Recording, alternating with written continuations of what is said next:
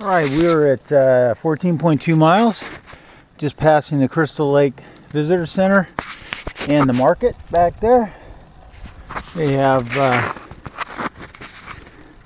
they have a little grill, nice.